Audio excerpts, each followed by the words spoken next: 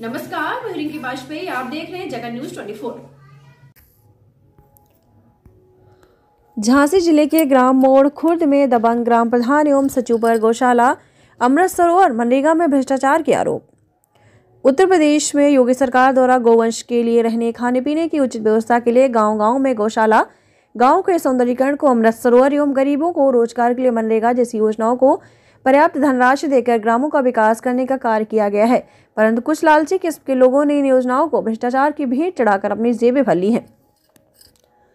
मामला जिला झांसी के ग्राम मोड़ खुर्द का है, जहाँ ग्रामीणों द्वारा बताया गया कि गौशाला में भूखमरी के कारण गौवंश की मौत हो गई थी, जिसकी शिकायत के बाद ग्राम प्रधान ने दबंगई दिखाते हुए गौशाला से सारे जानवर छोड़ दिए।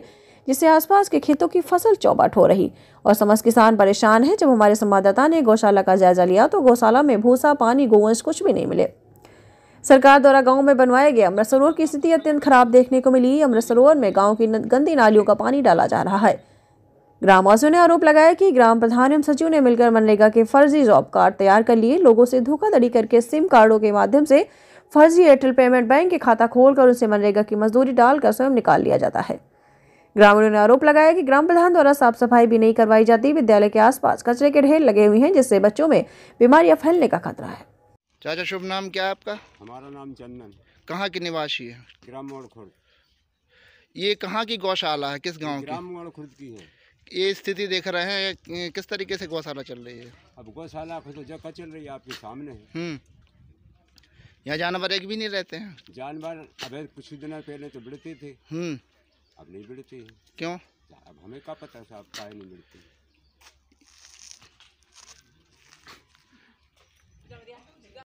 क्या नाम है? लालता प्रसाद। कहाँ के निवासी हैं? क्या समस्या है आपकी? सर जी है कि एयरटेल बैंक पेमेंट से जो पैसा निकला है हम्म। मेरे को पता नहीं है खाता कहाँ से खुला है तीसरा। हम्म। मेरे दो खाते हैं। हम्म। तीसरा खाता कहाँ से खुल गया? सिर्फ़ ये आया कि यहाँ पे आए थे कि आप नरेगा का कार्ड बनना जॉब कार्ड उसके लिए सिंगर पेंट लगवाए। किसने? प्रधान जी के बारे में। अच्छा। उससे आधार कार्ड लिंक हुआ मेरा। हाँ। और बस वहाँ से पैसा निकाला गया। कितना पैसा निकल गया? पैंतीस हज़ार रुपये। मियाँ बीवी के दोनों। और कोई समस्या है इसके अलावा? ये गौशाला की क्या स्थिति और ये?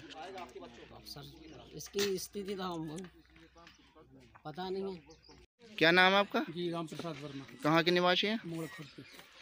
क्या समस्या है आपकी? समस्या हमारी साथ सर ये है कि करीबन दो महीना पहले हमने फार्म भरा एक एप्लीकेशन लगाई वहाँ में नोटरी भी लगी हम्म। वहाँ में एस डी एम की सिग्नेचर भी है। हम्म। हम जमा करे आलोक चतुर्वेदी से तीनों हाँ।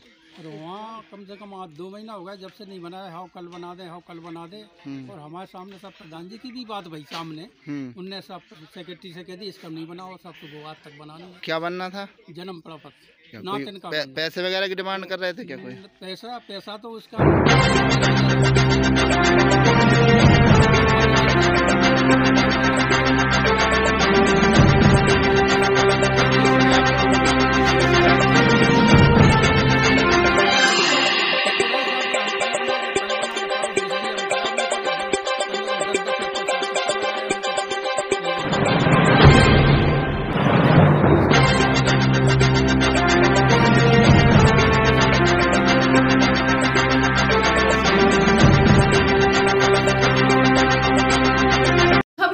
पाने के लिए जुड़े रहे हमारे साथ। और हाँ चैनल को लाइक, शेयर, सब्सक्राइब करना ना भूलें। जगह न्यूज़ 24